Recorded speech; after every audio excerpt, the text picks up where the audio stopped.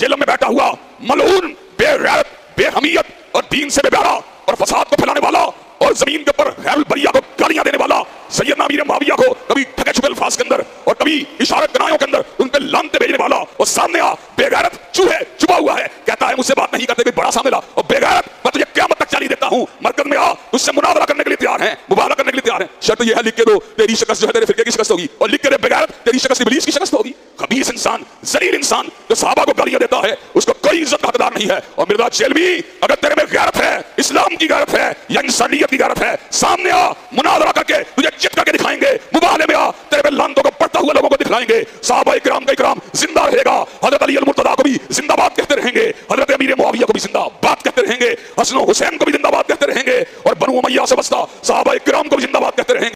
और वाबी उलमा ने निजी महफिलों में कहा है कि हम बताते हुए डरते हैं अपनी पब्लिक को, हकीकत यह है कि बुखारी, मुस्लिम भी आखिरी वक्त में शिया हो गए थे। ये मुझे खुद बताया है। बड़े वाबी मौलवियों के बारे में। चल मैं आपको बताता हूँ, ये गले फाड़ने वालों के बारे में। इनके अपने फिरके के लोग जब इनको छोड़ गए, कराची से इनको लाहौर मिलने आए, उन्होंने कहा, जी, हम किसको क्या बताएँ? हकीकत बात तो ये है। हकीकत यह है कि तुम लोगों का गेर उल्टा लगा हुआ है। हाँ। मैंने इस गले फाड़ने वाले को कहा था कि तू हदीस मुबाहला मुस्लिम से बयान ही नहीं कर सकता। और कोई जेलवी हो, या कोई फैसलाबादी हो, या कोई झालवी हो, अल्लाह के फजल करम से उनको ललकारते रहेंगे, उनकी आँखों में आँखें डालते रहेंगे। हम इनको अल्लाह के फजल करम से अगर इग्नोर करते हैं तो इसलिए करते हैं, हम इन साहबा के दुश्मनों को अपने जूते के तलवे के बराबर भी नहीं समझते। हम इनको नजरअंदाज करते हैं तो इसलिए करते हैं, हम इनकी बकवासियात को, इनके भोंकने को किसी खाते में नहीं रखते। अगर इनको ज़रूरत मिलती है तो अल्लाह ताला के फजल करम से साहबा की साहबियत के ऊपर कोई जेलवी हो, या झालवी हो, मरते दम तक अजमत रसूलुल्लाह के ऊपर और अजमत साहबा के ऊपर इनको मुबाहले का चैलेंज देने के लिए तैयार है। जब चाहो, हमारे मरकज में आओ जब चाहो हमें जेल में बुला लो तालो नदु बनाना सुम्मा नबदहिल फलनजल लानत अल्लाह लानत अल्लाह कादिबीन। वो हमें तुम तुम्हें ज़िंदगी के आखिरी सांस तक का चैलेंज देते हैं, जो साहबा वाला। वो, उसका ईमान, उसको अपने ईमान की फ़िक्र करनी चाहिए। जो साहबा के ईमान की करने वाला, उसको अपने ईमान का जायजा लेना चाहिए। अल्लाह के फजल करम से जब तक अल्लामा शहीद के बेटे ज़िंदा हम उम्मत के इत्तेहाद के लिए अल्लाह के फजल करम से इन मौजूद के ऊपर ज़्यादा तबसरा नहीं करते। लेकिन अगर किसी ने हमारे जब बात को भड़काने की कोशिश की। तो अबू बकर उमर के दिफा के लिए, उस्मान अली के दिफा के लिए, अली अल मुतला के दिफा के लिए, हसनैन करीमैन के दिफा के लिए, अमीर अल हक वली खान, मुआविया इब्न अबी सुफियान के दिफा के लिए। इधर आ, दिल पर हुनर आजमाए, तू तीर आजमा हम जिगर आजमाए। अल्लाह के फजल करम से हम ये काम करने के लिए तैयार है। आप सारे के सारे काम करने के लिए तैयार हैं इंशाअल्लाह इंशाअल्लाह इन्नल्लाह यामुरु बिल अदली वल ihsan व ईताई जिल कुर्बा व यनहा अनिल फहशाई वल मुनकर वल बगी सुभान रब्बिका रब्बिल इज्जति अम्मा यसिफून व सलामुन क्योंकि उसमें ज़िक्र है कि तेरे मामू ने सब करने का कहा था साद इब्न वकास को, उन्होंने इनकार किया था और मौला अली के फजाइल सुनाए थे। और तेरे बाबे ने, इबन तैमिया ने, मिनहाजु सुन्ना में, शिया के खिलाफ किताब लिखते हुए माना कि इस हदीस में तेरे मामू ने सब करने को कहा। और ये सब तनकीद होती है। छड़ दो! निकलो अपनी खुटा तू बाहर। सही मुस्लिम में, मेरे इमाम मुस्लिम ने, जिसकी कुनियत से तुम्हें चिड़ हो, अबुल हुसैन। हाँ। अबुल हुसैन मुस्लिम बिन हजाज अल कुशेरी ने इसके फ़ौरन बाद हदीस ली, गदीर खुम की हदीस सिक्स डबल टू एट तक सिक्स डबल टू फाइव से, और उसके बाद सिक्स डबल टू नाइन में लिखा कि बनु मैया कहलवाते थे लान अल्लाह अब तुराब अबू तुराब पर लानत। तो तनकीद, गाली नहीं, उससे बड़ी बात, लानत भेजते थे। अल्लाह की लानत, अल्लाह के फरिश्तों की लानत, तमाम लानत करने वालों की लानत हो जो आलुल बैत के ऊपर लानत करवाते थे। आमीन। तुम लोगों का हशर इनके साथ हो। और हमारा हशर जो है वो अल्लाह के नबी इस्लाम उनके जानसार खुलफा राशदीन, साहब कराम और अहलुल बैत के साथ हो। अलीम अजमैन आमीन। किधर बैठे हुए हो? यही पट्टी देवबंदियों के तकी उस्मानी ने अपनी किताब मामू के दिफा में लिखी, उसमें उससे भी ये मिस हैंडलिंग उसने कहा, नहीं, वो बुखारी में सिर्फ़ सब का लफ्ज है, सब तो तनकीद भी होता है। ओ, पढ़, मुस्लिम भी। लान अल्लाह तुराब लिखा है। या तो तुम्हारे ये बड़े जाहिल है, जिन्हें पता ही नहीं कुरान दी इसमें क्या लिखा हुआ है। और या मुनाफिक है, कि इन्हें पता है और जानबूझ के झूठ बोलते हैं। तो दूसरे वाला फतवा तो सख्त है, मेरा ख्याल नरम वाला ही मान लेते हैं कि जाहिल है। यही तो हम कह रहे हैं आपसे।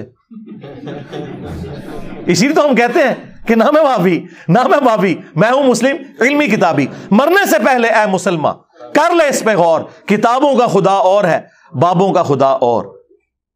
इसीलिए तो हम कह रहे हैं कि मेरे नबी सा है ही कोई नहीं।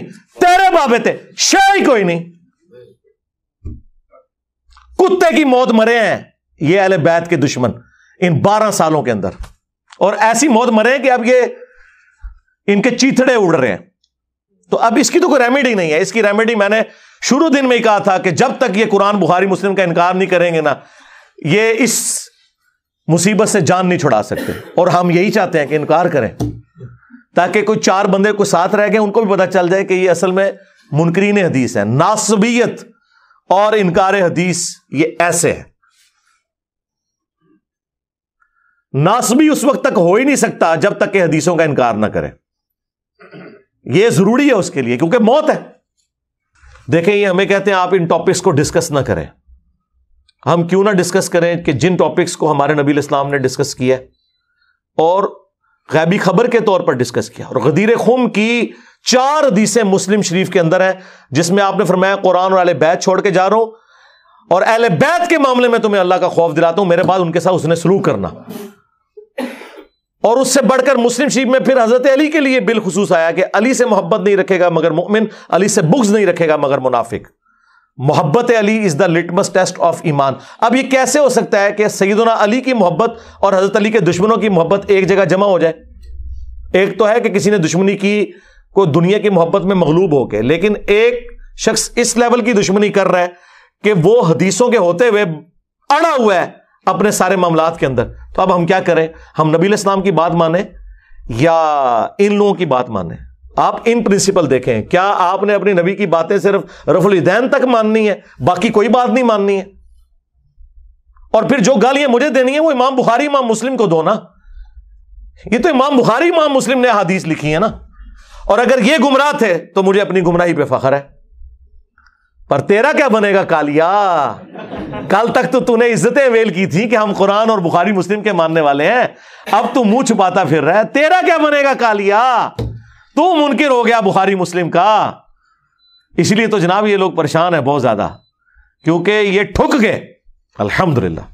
मेरे अलावा इस प्लेनेट अर्थ पे कोई और शख्स प्रोड्यूस करें जो हज़रत अली का दिफा करता हो, और हज़रत मुआविया रदी अल्लाह तला हो को रदी अल्लाह हो कहता हो।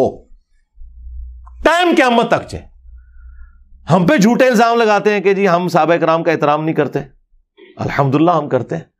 लेकिन अगर आप ये कहें कि हम इन लोगों को खुलफा राशदीन के बराबर कर दें तो वो तो अल्लाह के नबी ने नहीं किया। भाई, मैं कैसे कर सकता हूँ? सल्लल्लाहु अलैहि वसल्लम। खोल सही मुस्लिम। लिखा हुआ उसमें कि अब्दुल्ला बिन अमर बिन आस खान काबे के साय में बैठे हैं।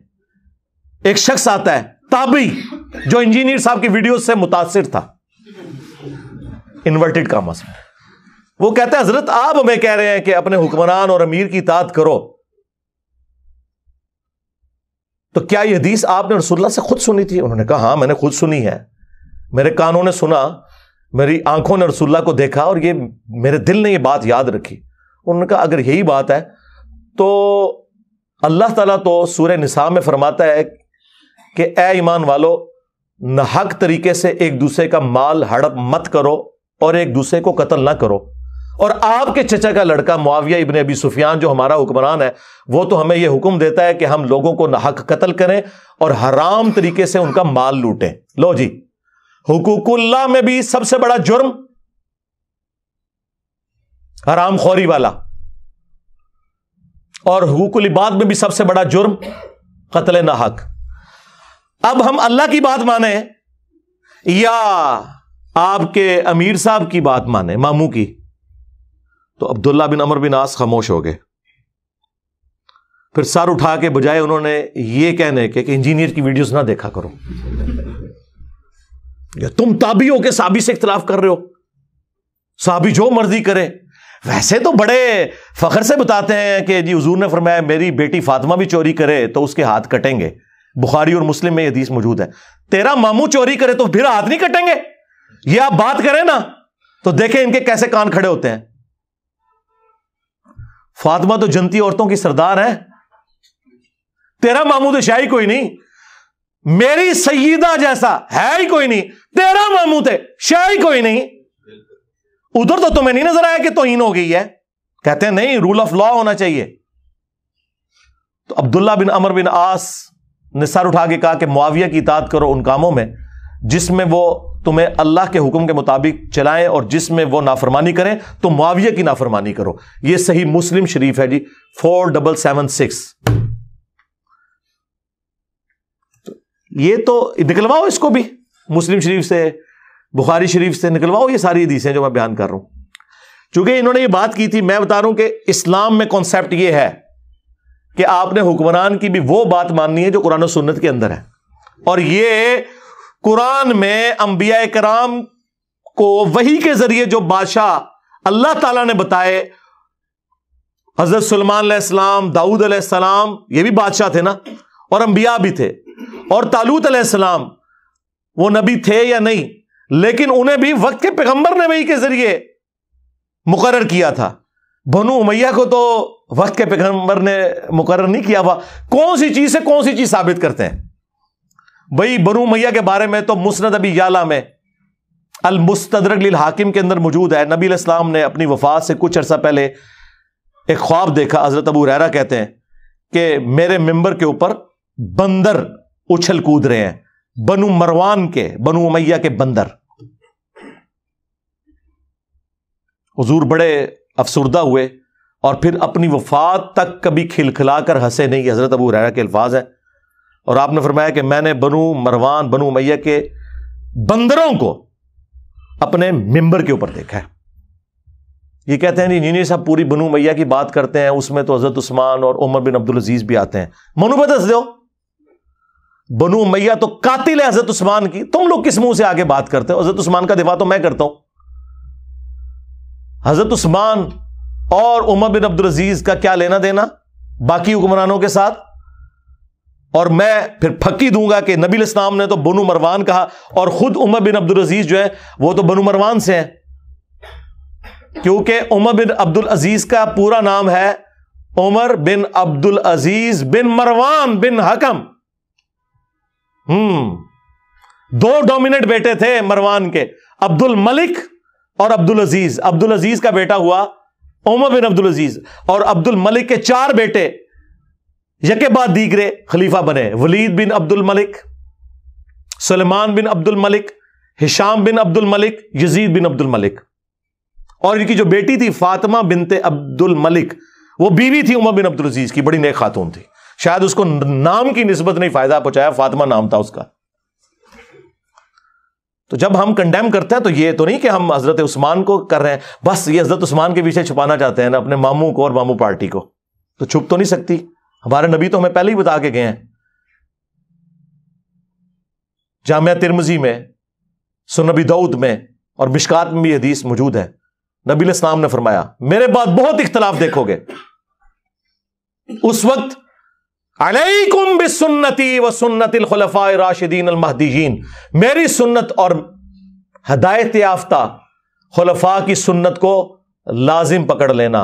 अपनी दाढ़ों के साथ मजबूती से और दीन में नई नई बिदतों से बचना। जनाब, इसीलिए हम खुलफा राशदीन के साथ हैं। आप नहीं साथ। आप तीन का तो साथ देते हो, चौथे की बारी आपकी गाड़ी का टायर पंक्चर हो जाता है या खोती मर जाती पंजाबी च। पहले गधे पे लोग सवारी करते थे ना। इसीलिए फिर मैंने अपने अंदाज में इसे समझाया कि जी, पहले खलीफा के मुखालफी कहते हैं जी, मुर्तद नहीं नहीं, वो तो हजूर के ज़माने में साबी थे नहीं, वो बाद में मुर्तद हो गए थे, मुनकरीन ज़क़़त और कुछ मुसलमा कजाब के साथ मिल गए। अच्छा जी, ठीक है। दूसरे खलीफा के मुखालफी कहते हैं, जी, रोमन्स और पर्शियंस काफिर। अच्छा अच्छा अच्छा बिल्कुल, हम भी आपके साथ हैं। तीसरे खलीफा के मुखालफी ओ जी, बलवाई खारजी हालाँकि खवारिज की टर्म हज़रत अली के मुखालफी के लिए आई है। यार, वो तो सुलह देबिया के साबित थे लेकिन वो जी इख्तलाफ किया ना जी उन्होंने। बलवाई थे वो। चलिए, ठीक है। चौथे खलीफा के मुखालफी रदी हो है? क्यों? अब वो किधर की हदीस के तुमने मेरी और मेरे खुलवाए राजदीन की सुन्नत को लाजिम पकड़ना है? और चौथे के मुखालफीन के बारे में तो हदीसें हैं। बुखारी, मुस्लिम में कि खवारिज को सबसे बेहतरीन लोग हैं जो कत्ल करेंगे। जंग जमल के हवाले से हदीसें हैं बुखारी में। कि वो साहबी कहते हैं? हज़रत अम्मार इबन यासिर कि अल्लाह ने तुम्हें आजमाया है? कि तुम अल्लाह की इतात करते हो या आयशा की इतात करते हो अगरचे आयशा दुनिया और आखिरत में तुम्हारे नबी की बीवी है लेकिन अली की इतात जो है वो अल्लाह की इतात है वह उलिल अमरी मिनकुम के तहत। ये कहते हैं जी वो इसने कह दिया जालिम वो तो हदीस के अंदर लफ्ज थे मैंने हल्के के हल्के बोले। असल में तो बुहारी में तो लिखा है कि अल्लाह के खिलाफ जंग है जंग जमल अली के खिलाफ नहीं है। आप मुझे बताएँ अल्लाह के खिलाफ जंग लड़ना। हाँ, वो जालिम लफ्ज तो बहुत छोटा रह गया लेकिन हज़रत अली ने उन्हें माफ़ कर दिया। आज की डेट में वो लानती है जो सईद आयशा के ऊपर कोई सबो शतम करे। वो चैप्टर क्लोज है। और जो तीसरी जंग सिफीन है, उसके बारे में तो बुखारी मुस्लिम में वो हदीस तख्तुलफी अतुल बागिया यदुल्लाह वही हमार अफसोस है अम्मार, तुझे एक बागी जमात कत्ल करेगी। तू उन्हें अल्लाह और जन्नत की तरफ़ बुला रहा होगा, वो जमात जहन्नम की तरफ़ बुला रही होगी। लो, बागी भी और जहन्नम की तरफ़ बुलाने वाली भी। चौथे खलीफा के बारी रदी अल्लाह पे आप आके रुक गए। उसको नहीं आपने पकड़ना। फिर खिलाफत राशदा के बारे में अबू दाऊद तिरमजी में हदीस है कि मेरे बाद खिलाफत तीस साल तक रहेगी। फिर हज़रत सफीना जो हदीस के रावी हैं, हजूर के आज़ाद करदा गुलामों कहते हैं, गिन अबू बकर के दो साल, उमर के दस साल, उस्मान के बारह साल और अली के छह साल, जिसमें हसन इबन अली के छह महीने भी शामिल हैं। वो साढ़े चार साल थे और ये छह महीने। तो वो सही ताबी कहता है कि ये बनु उमैया के लोग, बनु जुर्का, नीली आँखों वाले, ये तो कहते हैं कि अली सलाम खलीफा ही नहीं है। ये कहते हैं, नहीं जी, खलीफा तो हज़रत अली को वो मानते थे, बस वो जरा किसासे उस्मान का मसला था। जी, खोल के पढ़ ले, खलीफा भी नहीं थे मानते। इमाम अबूदऊद ने लिखा है, अली अलैहिस्सलाम को ये खलीफा नहीं मानते। तो हज़रत सफीना को इतना गुस्सा आया, उन्होंने कहा, ये इनकी पीठ से झूठ निकला जहाँ से हवा खारिज करते हैं। इनकी बादशाहत शरीर तरीन बादशाहत है प्लेनेट अर्थ की। ये फजाइल बयान किए बनो मैया के, हज़रत सफीना ने। और अबू दाऊद में, तिरमजी में तो यहाँ तक हदीस है, ये हदीस आगे भी है। मुसन्फ इबन अबी शैबा में और मुसनद अबी दाऊद तयालसी में सेम सनत के साथ। उसमें पता क्या लिखा हुआ है आगे? वो पूछता है कि फिर हज़रत मुआविया क्या हुए? अगर खिलाफत राशदा खत्म हो गई है। ये कहते हैं इंजीनियर साहब जो है ना, वो हज़रत मुआविया को खलीफा नहीं मानते। जी, बिल्कुल। अगर हुक्मरान के तहत खलीफा आप कहते हैं तो वो इमरान खान साहब भी और शबाज शरीफ भी खलीफा है। और अगर आप उस टर्म की बात करते हैं तो वो तो खलीफा नहीं है, वो मलिक है। और सबूत ये हदीस तो हज़रत सफीना कहते हैं कि हज़रत मुआविया जो है, वो बादशाह हैं। यानी उनका वो खलीफा नहीं है। और मुसन्फ इबन अबी शाबा में अल्फाज है कि ये सख्त गिर बादशाह है और इनका पहला बादशाह मुआविया है। यानी जब मुआविया पहले बादशाह हुए खलीफा तो हुए ही कोई नहीं। और जी साहबा मीरुल मोमिनीन कहते थे जी जनाब अमीर मोमिन तो हारून रशीद को भी कहा जाता है खलीफा मंसूर को भी कहा जाता है। जी जी बिल्कुल ठीक है आप कहें आज भी आप कहें मोमिन जिसको कहना है। खलीफा राशिद नहीं वो हजूर मोर लगा गए हैं कि इसके बाद काट खाने वाली मलूकियत है। हाँ मुसरद अहमद में मौजूद है कि नबी इस्लाम ने फरमाया, मेरे उठाए जाने के बाद जब तक अल्लाह ताला चाहेगा, खिलाफत अला मिनहाज नबुआ रहेगी। उसके बाद काट खाने वाली मलूकियत अपने दुश्मनों को काटने वाली। वो कहते हैं, नहीं, वो एक रवायत में आया है, वो बादशाहत और रहमत होगी। हाय, मैं सदके जावा बादशाहत और रहमत होगी। वो तो हमने करबला वाले सर्च पेपर में बता दिया है। बादशाहत और रहमत कंपैरेटिवली इस एतबार से कि बाद वाले मजीद गए गुजरे आए। जिस तरह लोग आज कह रहे हैं जी, इमरान खान साहब का दौर बड़ा बेहतर था। जब खान साहब से तंग थे तो कहते थे नवाज़ शरीफ साहब का दौर बड़ा बेहतर था। ठीक है, इस तरीके से पीछे चलते हैं। वो इस सेंस में बात थी। यहाँ तो काट खाने वाली मलूकियत है। बिल्कुल वाजे आया मुसरद इमाम अहमद के अंदर। और वो पूरे करेक्टर्स मैंने बता काट खाने वाली है, ज़बरदस्ती दौस के साथ मुसलत होने वाली। तो वो हुई भी है। फोर वन ज़ीरो एट पढ़ लें बुखारी की।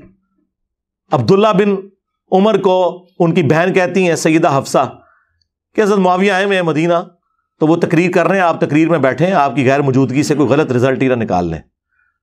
वो कहते हैं, मैं फिर चला गया।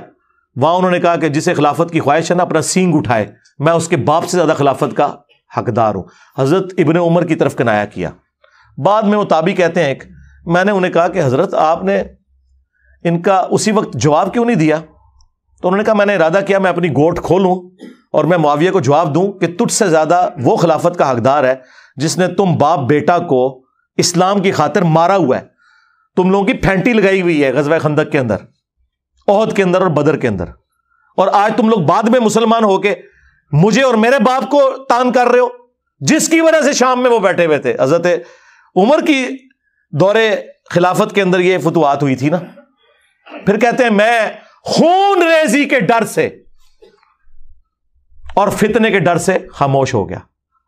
और मुझे जन्नत की नेमतें याद आ गई, मैंने उन्हीं पे किफ़ायत की।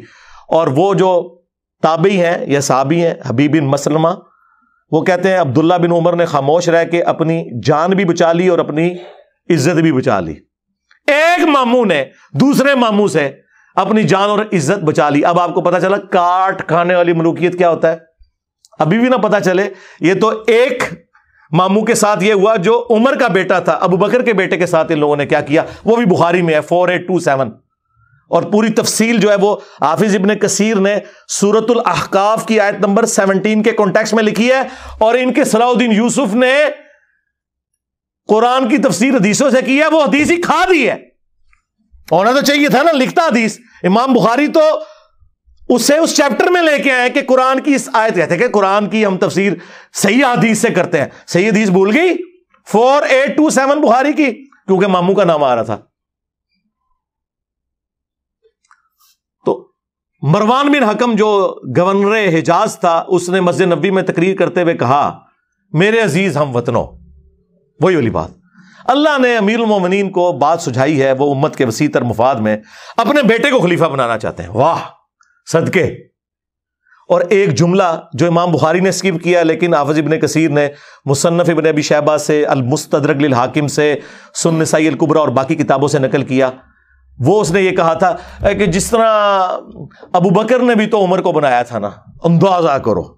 हज़रत उमर बेटे थे, अबू बकर के अपने बेटे थे अब्दुलरहमान बिन अबी बकर उनको तो नहीं बनाया। और वही खड़े हो गए। बुखारी के अल्फाज है अब्दुलरहमान बिन अबी बकर खड़े हुए और कुछ कह दिया। इमाम बुखारी ने अपनी शराफत की वजह से वो स्किप कर दिया। लेकिन इबन कसीर वो सारी दूसरी हदीसें ले आए कि कह दिया कि सीधी तरह कह कि तेरा मीरुल मोमिनीन मुआविया जो है, वो कैसरो किसरा के तरीके पे चलना चाहता है, अबू बकर ऊपर के तरीके पे नहीं। तो ज़ाहिर आग लगनी थी, बुखारी के आगे अल्फाज है। कहा, पकड़ो इनू नैब दे वाले करो। एफ़ आई ए टीम बुलाओ। तो अब्दुलरमान बिन अभी बकर, देख लें, ये भी मामू है। एक मामू का हरकारा दूसरे मामू के साथ क्या सलूक कर रहा है? और ये मामू वो जो सईद आयशा का भाई, माँ और बाप दोनों कामन। इस तरह का भाई, जो हमारे यहाँ सगा भाई जिसे कहा जाता है।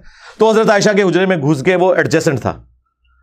बाहर से भी इसने गुस्सा निकाला। अबू बकर के बेटे, तेरे बारे में सूर्य अकाफ की आयत नंबर 17 नाजिल हुई है, जो सलाउद्दीन यूसुफ ने निकाल दी, नहीं डाली। उसके मामू का नाम बीच में आ रहा था। तुम तफसीरें करोगे उठाओ मेरी तफसीर कुरान की। या पता चला क्यों निकलवाना चाहते हैं? मैंने बुखारी की हदीस बयान की है उस तफसीर में। ये कुरान हदीस से तफसीर नहीं करना चाहते। क्योंकि मामू का नाम आ रहा था। हाँ निकाल दी। मैं लगाऊँगा पेजिस कि निकाली हुई है, पढ़ लें आप खुद। उनका तेरे बारे में आया था ना कि ये कहता है कि तुम लोग मुझे ये कहते हो कि मरने के बाद दोबारा ज़िंदा किया जाऊँगा। ये अगले लोगों की कहानियाँ है कुरान। अबू बकर के बेटे, ये तू वो काफिर था जो ये कहता था। अस्तफरुल्लाह सईद आयशा को गुस्सा है उनका उसको खामोश हो जा।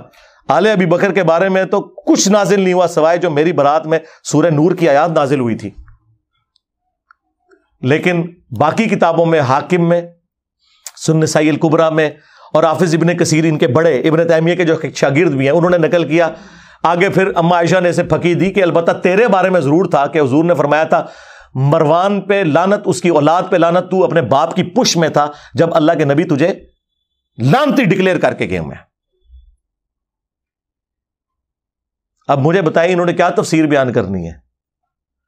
ये मैंने आपको काट खाने वाली मलूकियत की मिसालें दी। बहुत सारी मिसालें दे सकता हूँ मैं, लेकिन फिर वो टाइम शॉर्ट है। मेरा ख्याल जितनी मैंने इनकी तबीयत साफ़ कर दी है। हाय हाय हाय हाय हाय। मैं तो क्या सी मनु ना छेड़ा करो। मैं पहले तो बाउंड्री तो बाहर सुटता सा ना हूँ मैं प्लैनेट अर्थ तो बाहर सुटांगा। हाँ।